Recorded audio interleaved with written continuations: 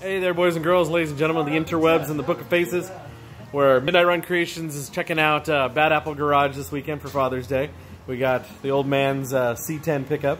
As you can see, he's got his gas tank all in and set up. Even did a little custom uh, fill neck action going on here in the between the rails gas tank. There's the external fill tank. Bed's been all cut down. He changed, um, as we've seen in other videos, he changed the uh, wheel openings to fit the uh, big old wide tires he's got sitting here.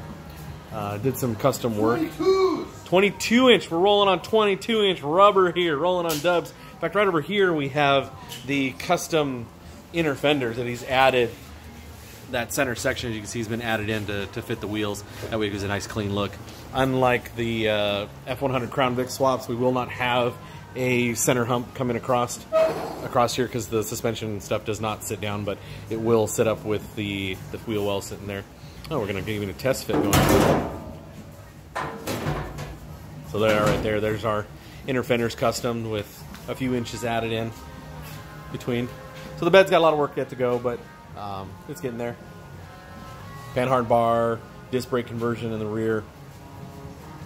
Up front, we have some shark gauges uh, courtesy of eBay, everything's in here on it. Got indicator lights. Um, the whole gauge pack has everything with it: uh, voltage, water temperature, oil pressure, RPMs. Um, everything is all set up in there. We have indicator lights for LED lights for turn signal, for your high beams and low beams being on.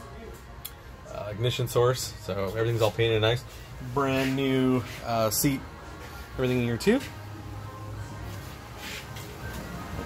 Inside's been all redone. So kind of a patina look like we've seen before on the outside with it. New glass and everything.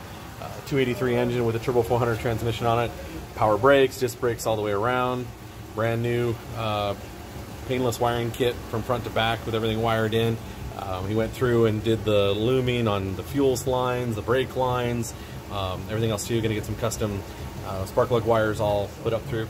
Has these really awesome bolt connector connectors coming through as well too. Just nice, clean overall look. Nice linkage for the throttle assembly. Beautiful Chevy valve covers on it. So, yeah, she's rocking and rolling. Fired over the first time after we set all the uh, initial timing and everything on it. I said rocking the, the 22 inch wheels.